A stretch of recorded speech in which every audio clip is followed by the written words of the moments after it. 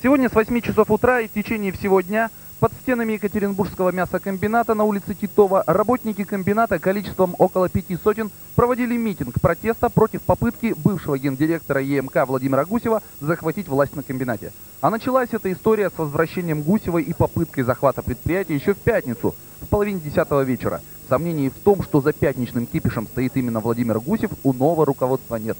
Это я связываю с прежним руководством.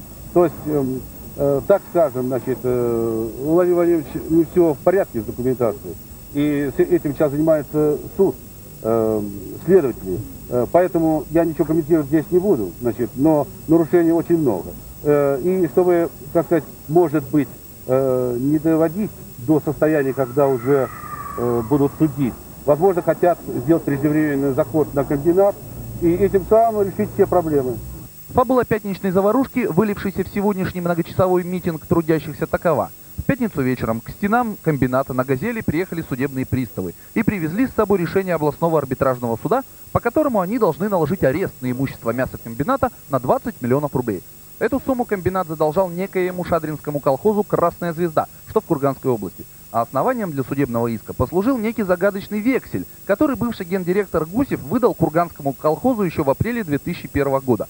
Что это за вексель, не совсем понятно. Но областной арбитраж счел этот вексель веской, настоящей бумагой на 20 миллионов денег и постановил, мясокомбинат должен вернуть эти деньги колхозу со свиноводческим уклоном.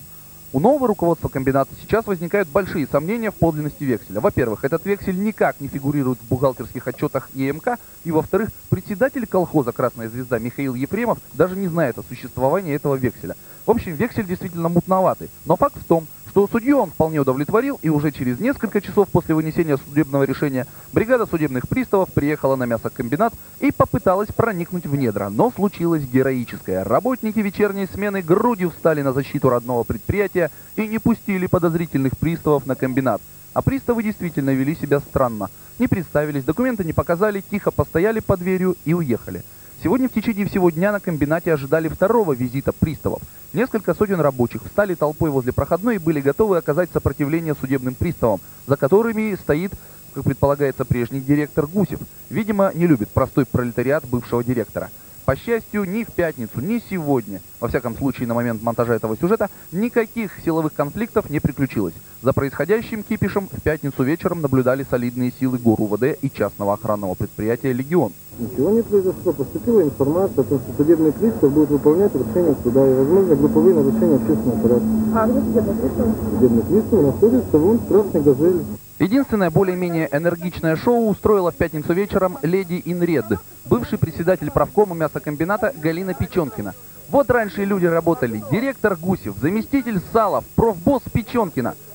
Нормально для мясокомбината. Буквально в пятницу днем народ ее на профсоюзной конференции снял с должности, и она с горя стала орать в защиту Гусева. Кричала долго и много, вот некоторые выдержки. Что я говорю? Что я набрала? Может быть, скажите, и денежки скажите, делили. Не скажите, надо на меня плевать, скажите, дама. скажите, скажите, скажите. Я вас не трогаю, это вы меня трогаете руками. Вы набрали. Скажите, что я набрала? Я не квартира, не зарплату, ничего я не получала. Вы не Вот это- зарплату не Вы получали. докажите. Да, Я зарплату Вы получали Определила на зарплату, да? Не надо, не И в надо. этом коттедже у говорить. Гусева не отдыхали, да? Не Который отдыхала, построен не на отдыхала. ворованные у комбината деньги. Подождите, сейчас кто пришел? Они Нет. тоже люди не бедные, не надо. тоже И тоже нет. Ефремов. И Да вы что помогали? Гусеву Хорошо, воровать да. акции у трудового коллектива. Я? Конечно. Я это не заставляли, заставляли подписывать эти не передачи. Вы сначала это Вы считать, считаю вы можете